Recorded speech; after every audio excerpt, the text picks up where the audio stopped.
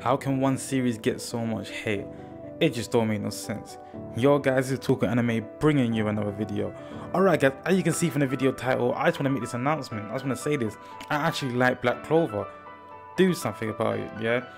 Black Clover's got so many haters, it's got so many people that just don't like this series for the smallest reasons and there's other series out there that actually do worse that you look praise and worship and it just doesn't make any sense to me. Now I'm just giving my thoughts on this.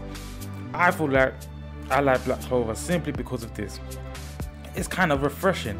Now you lot say it's a Naruto clone, it's a Fairy Tail clone. No, I feel like it's completely different. The world is new, the world is brand new, it's refreshing, and it makes me want to watch another, episode each and every episode, which a lot of anime today doesn't really do. And I can definitely say right now, Black Clover is doing better in my books in comparison to an anime like Boruto, which I'm not feeling at all. So yeah, Black Clover's got a lot of hate. Asta's voice is very annoying, but as you grow with the series and you actually watch the series, you actually get used to his voice. And I'm pretty sure everyone watches anime series where they've got that female character that just drives you insane, but you still get through it because you have love for the series. Yeah, I feel like I'm you know what the point you know what I'm getting at when I mention all of this. So yeah, you can get by through that. You can get through all of that. You can get by that. It's not that deep. I don't feel like, and I feel like this anime this anime season in general has got a lot of hates for no reason. It's got potential to be at the top as one of the best anime, not one of the best, but a good good anime. Like like when you mention anime, you think Black Clover. That's the type of that's the vibe I'm getting from it. Like I said, each episode makes you want to watch another episode.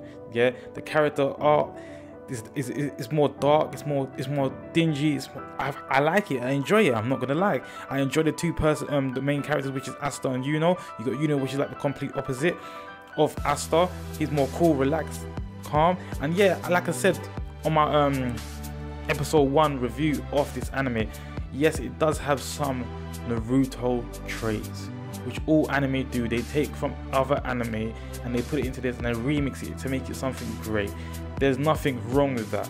And I, like I said, I feel like it's gonna go in his own direction, which he already has, to be honest. Yeah, he's gonna go in his own direction and, and create his own masterpiece and create his own vibe. And I feel like he's doing that right now.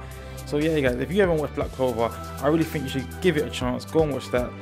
And if I'm just chatting, if you lot, let me hear your thoughts on this though, because I don't, I can't believe that I'm not the only one that enjoys this anime. Like, I feel like you lot are just giving it too much um hate for no reason, just because everyone else is screaming the same thing. So you lot are following. So yeah. But anyway, this is talking anime. This is just a quick little video. Peace out.